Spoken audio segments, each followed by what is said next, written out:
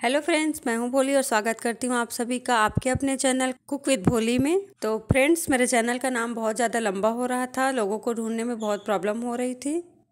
इसलिए मैंने आज नाम चेंज कर दिया है। इंडियन रेसिपी विद भोली से हटा करके इसका नाम मैंने कुक विद भोली रख दिया है। तो चलिए आज की रेसिपी शुरू करते हैं। आज हम बनाने जा रहे हैं साबुदाने का वड़ा।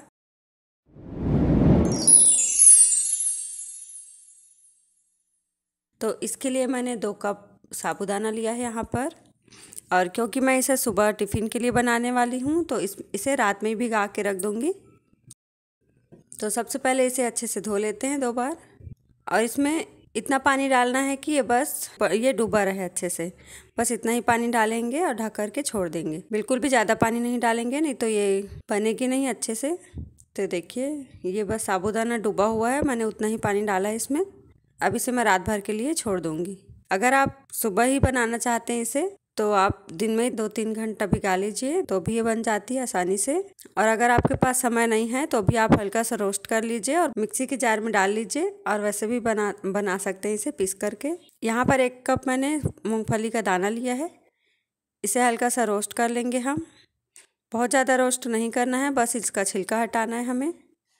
अगर आपको छिलके से प्रॉब्लम नहीं है तो आप इसे ऐसे भी पीस सकते हैं और यूज़ कर सकते हैं। तो हल्का सा भून चुका है ये। लगभग पाँच मिनट मैंने भून लिया है और इसका छिलका अपने आप ही फिर आसानी से निकल जाता है। थोड़ा सा ठंडा हो जाएगा, उसके बाद हम हाथ से इसे अच्छे से मसल लेंगे और इसका सारा छिलका अलग कर लेंगे। उसके बाद इसे मिक्सी के जार में डाल करके इसका दर दरा सा पाउडर बना लेंगे। अब यहाँ पर एक बड़ा बर्तन लिया है मैंने, जिसमें सारी चीज़ों को हम मिक्स करेंगे।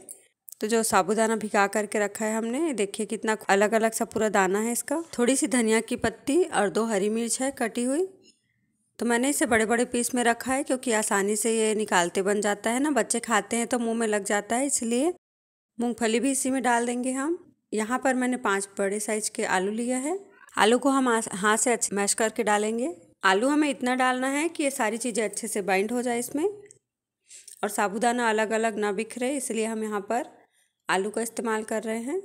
आप इसमें अपने स्वाद के अनुसार जीरा या तिल जो भी आप डालना चाहे डाल सकते हैं। चिली फ्लेक्स है स्वाद अनुसार। आप यहाँ पर पिसी हुई लाल मिर्च का भी उपयोग कर सकते हैं। स्वाद अनुसार काला नमक और उसी को ध्यान में रखते हुए यहाँ पर हम रेगुलर नमक भी डालेंगे। अगर आप उपवास में बना रहे हैं तो इसमें काला नमक या सेंधा नमक जो भी आप खाते हैं उसी का ही यूज़ कीजिए। मैं इसे ऐसे ही खाने के लिए बना रही हूँ तो बस टेस्ट के हिसाब से डाल दी हूँ सारा चीज़। अब सारी चीज़ों को अच्छे से मिक्स कर लेंगे हाथ से। इसका एक डो जैसा बना लेंगे। ऐसे बन, बंधने लगती है ये। अब इसे एक बड़ा का शेप देंगे। तो देखिए बहुत अच्छे से ये मिक्स हुई है। आलू का बाइंड भी ठीक है यहाँ पर। तो आसानी से बन जाती है, बिखरती नहीं है बिल्कुल भी। यहाँ पर मैं बड़ा भी बना कर रख रही हूँ इसे आपको दिखाने के लिए। जब भी आप बनाएँ तो आप बना करके तुरंत डालते जाइए। मैं यहाँ पे बहुत सारा बना करके रख रख ली हूँ आपको दिखाने के लिए। और इधर मैंने तेल भी गरम करने के लिए चढ़ा दिया है कढ़ाई में। तो देखिए, इस तरह से सारे बड़े मैंने तैयार कर लिए हैं। अब चलिए इसे फ्राई कर लेते हैं। तो मीडियम गरम तेल में डालेंगे हम इसे।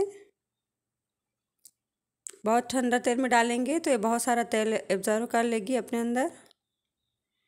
इसलिए हल्का गरम में डालें आप। तो इसे अलट पलट करके सभी तरफ़ से अच्छे से सेक लेंगे और हल्का सा गोल्डन कलर आ गया है इसका। तो अब हम यहाँ पर इसको निकाल देंगे। देखिए कितना प्यारा सा कलर आया है इसका। तो हल्का सा कलछी को यहाँ पर हम रोक लेंगे ताकि एक्स्ट्रा जो भी तेल है वो निकल जाए यहाँ पर। और इसी तरह से सारे बड़े हम डाल करके फ्राई कर लेंगे। आप इसे हरी चटनी या दही के साथ में, दही की चटनी या सॉस जैसे भी आप सर्व करना चाहते हैं कीजिए। ये खाने में बहुत टेस्टी लगती है। तो आप लोगों को ये रेसिपी कैसी लगी, ज़रूर कमेंट करके बताइए। और अगर आप नए हैं इस चैनल पे तो प्लीज़ वीडियो लाइक शेयर और सब्सक्राइब करना ना भूलें। मिलते हैं अगले वीडियो में, तब तक के लिए जय श्री कृष्णा।